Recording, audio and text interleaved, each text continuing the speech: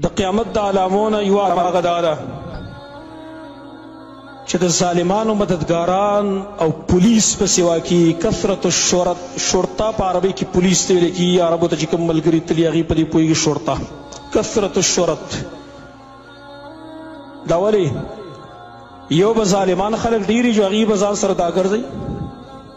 دویم په دې وجه باندې چې په خلکو کې فساد نقصان راغلی دی د خلکو اصلاح بغیر د پولیس نو د فوج نه بنه کیږي فساد فساد پیدا شوی دی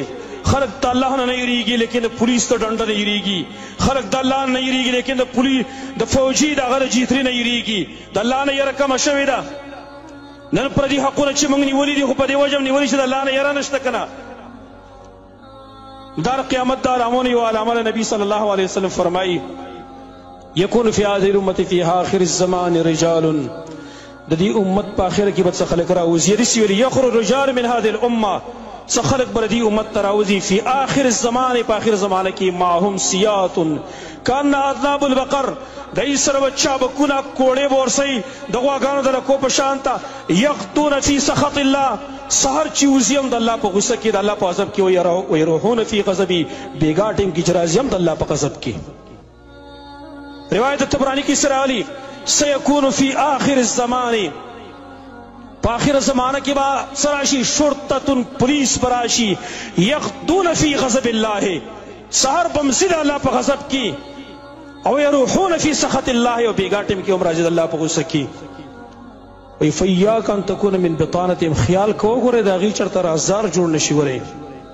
په روایت مسلم کې وسدای ذکر کړی دي صنفان من اهل النار لم ارهما من بعدي دو قسم خلق ته ما وسه پورې اندلی دي رجال ما هم سیات کاذاب البقر یضربون بها الناس څه خلق پیدایي سر به د غواګانو د لکو په شان ته شابکونه ورسره خلق به پیوهي او دویم چی کوم دی هغه زنانه دی چی بربنډی به لکه دا یو ذات پر سره دی ان شاء الله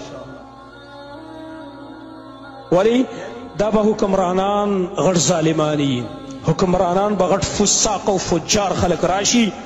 نو د هغې سره به بیا پولیس هم ورسره نو هغه پولیسو کې به هم اکثر ظالمانې نو خلکو باندې به ظلمونه کوي دې ته به نه ګوري چې دا په حقه دا په ناحقه باندې سحر به وځي هم د الله په غوسه کې بېرته چې ماښام راځي هم د الله په غضب کې به واپس کېږي ځکه خو عبدالله ابن عباس فرمایلی امام طبراني الاوسط کې او صغير دواړو کې نقل کړی دی عبدالله ابن عباس فرمایلی یکون علیکم امرا